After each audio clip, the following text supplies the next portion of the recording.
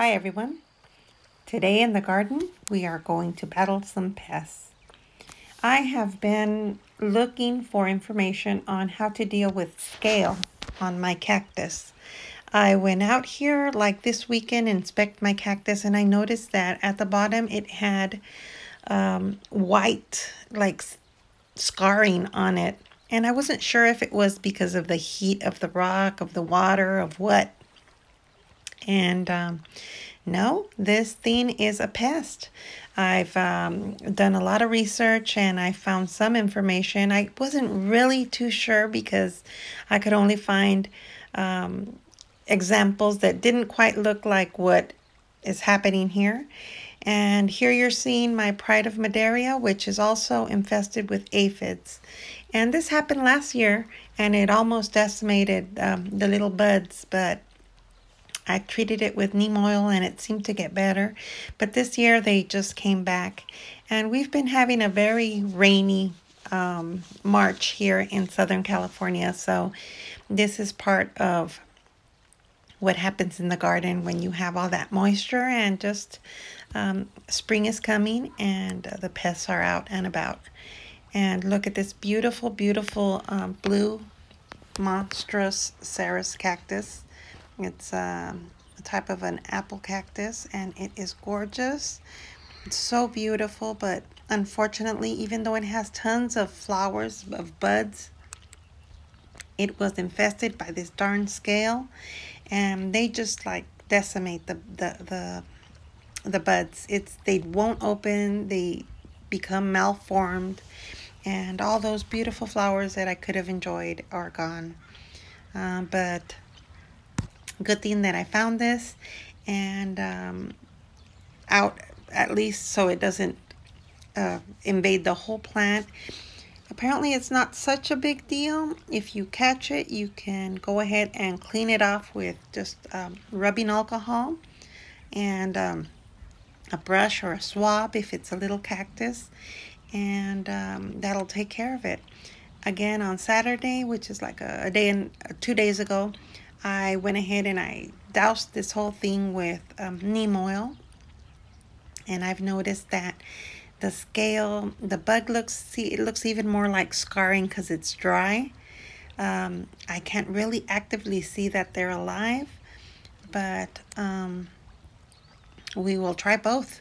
I'm going to go ahead and um, try the alcohol and I'm going to douse it again with neem oil. And um, yeah, just give it the one-two punch approach. And um, here you're seeing the alcohol I will be using. And unfortunately, this bottle is almost empty. So I just have a tiny bit. And um, I'm going to try it out though and show you guys so that you could see how this thing, how easy this thing falls off once you um, apply it directly. This is just full strength. And I am using a long brush. Remember that these cacti have long, long um, spines that will hurt you. So be very careful. And I am in jeopardy already because I have um, the bunny ears next to me. And it has a lot of glochids that are vicious. So I'm trying to be careful here. And here you're seeing as I am just applying it, it is coming off so easy. And remember, all these are bugs, which is just, ah, ah, I'm scratching as I'm speaking because it's just, um, it's gross. Just to think that all these are little insects that are infesting my cactus, my beautiful cactus. It doesn't seem to really mark or scar or hurt the cactus uh, once you take it off with the alcohol. But again, this is a tedious little job that you have to really get it in the in the crevices and in the little nooks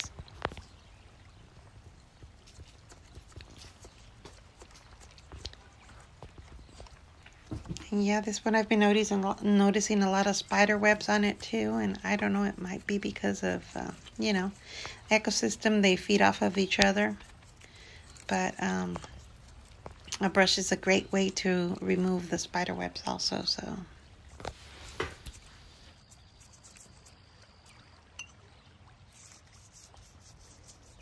Yeah, I am um, so sad that I don't have enough alcohol so that I could just go ahead and clean it all up because it's doing a great job and you can see the beautiful green color uh, once you remove all those nasty little critters. But um, I'll do my best just to show you guys how it does come off. And I have ordered more um, rubbing alcohol so that I can continue this uh, in the coming days. But for now, I'm going to go ahead and just clean what I can.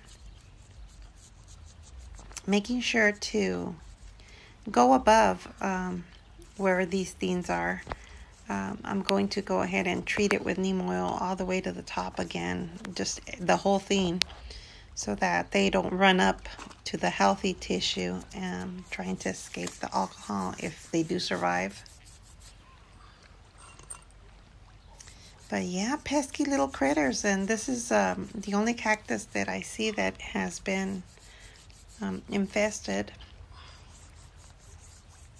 and it didn't happen last year so but you know what I had do have another monstrous uh, cactus and since I bought that one it had scale and I wasn't quite sure and I did treat it with um, with neem oil and it seemed to get better and now it's it looks really good. It's uh, healthy. I don't see any signs but just in case I'm gonna go ahead and treat that one with neem oil again and uh, kind of beat these little critters from infesting that one.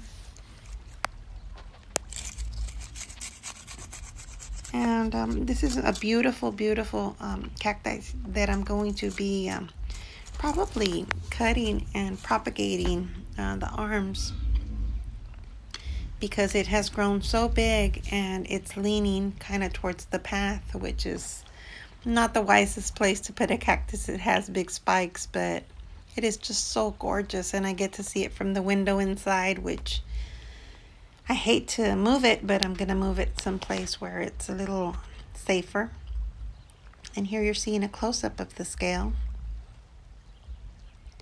And see, as you can see, it looks like if it's dry, because it could be that the neem oil just went ahead and killed it but it's still attached to the cactus. Uh, it doesn't fall off. You need to physically get a brush and clean it off. Here you're seeing the backside of this cactus and um, uh, it had tons of growth and beautiful flowers that were going to bloom and look they're just infested with that white stuff that uh, is part of what these bugs do and it just kind of stunts the growth of any of the flowers or any of the new growth. But this is such a gorgeous cactus. That blue color is just incredible.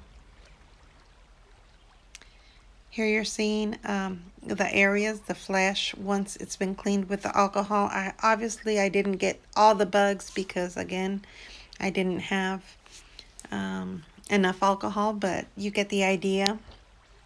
They do come off and the cactus could look brand new.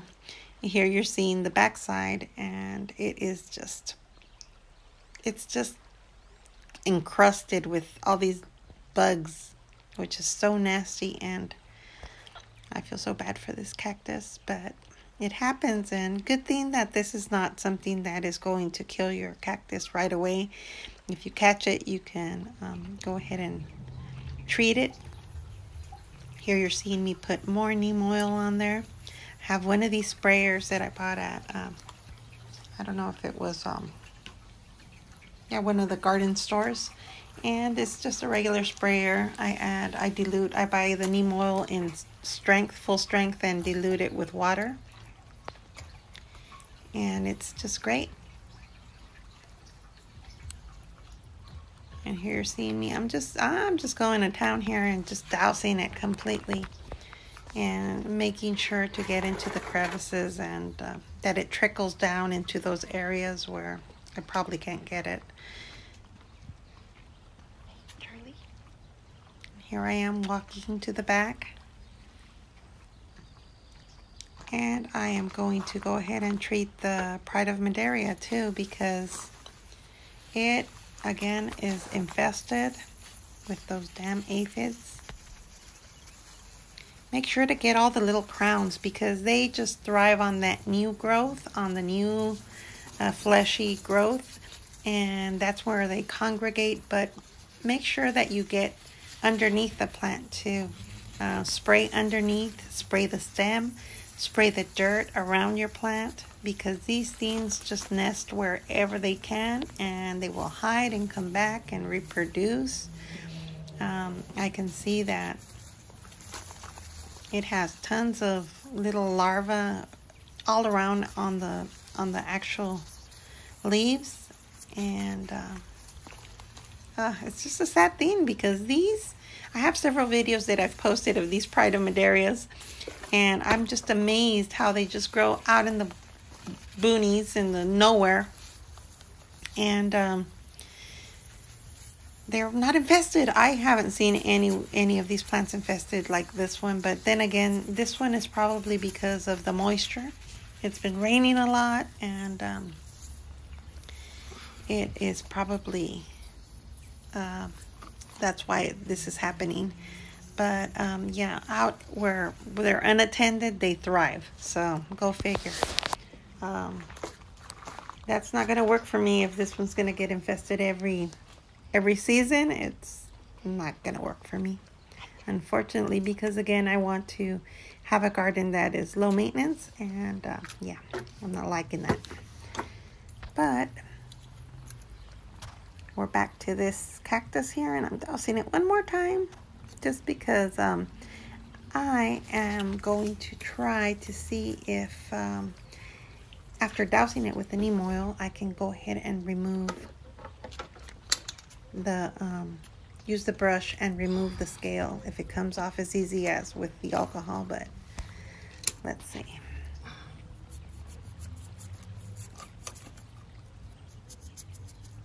Nope. You really, you really need to, yeah, apply pressure and uh, yeah. With um, alcohol, it they come off like so easy. It's just so satisfying.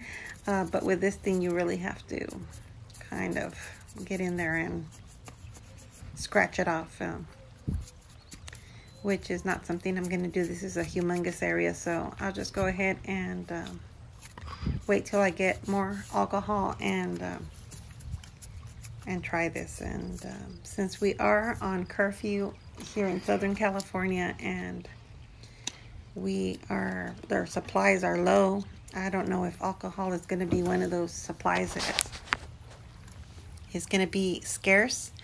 So I don't know. I might use some some cheap cheap alcohol spirits um, that we have that in our bar and just use that and see if that works. But um, I'm so glad I caught this because, again, this is a beautiful, beautiful cactus. Oh, so gorgeous. All right, well, here you're seeing um, how green it can be once you remove everything. Obviously, I didn't do a good job of taking every single um, pest off, but I will and I wanted to share this with you guys. Hopefully it helps you out if you have a cactus that is infested like this one. Don't let it ride. Go ahead and take care of it and hopefully your cactus will be just fine. All right, everyone. Thank you so much for watching. Thank you for subscribing and welcome to all the new subscribers. I wish you guys health and happiness and peace. Um, I will talk to you guys later.